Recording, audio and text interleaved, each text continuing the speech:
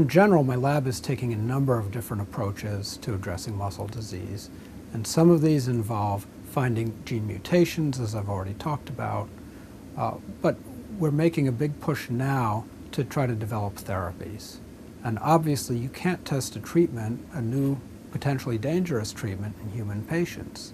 So one of the important things we need to do is develop animal models. Dr. Vandana Gupta is a postdoc in the lab.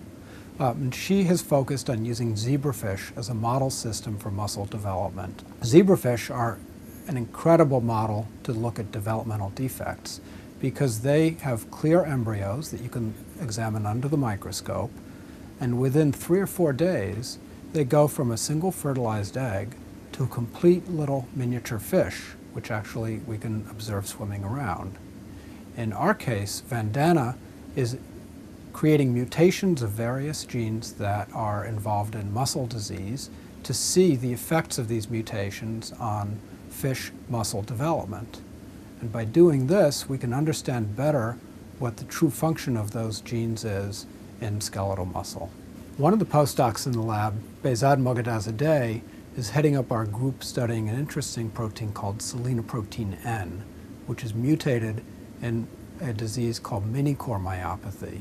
Behzad has recently developed two lines of mice which carried distinct and different mutations in the selenoprotein N gene. And these are turning out to be a wonderful model for studying mini-core myopathy.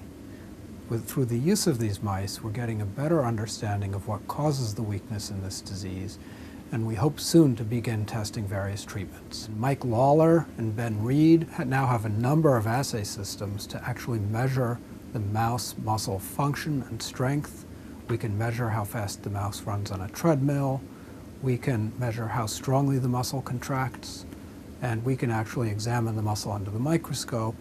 And we're now starting to develop a couple of treatments using various proteins that we hope will make larger and stronger muscle. Uh, and in collaboration with some colleagues in France using an approach called gene therapy to replace the defective gene uh, and basically testing a number of different approaches to see what's likely to work best to treat myotubular myopathy and some of these other diseases.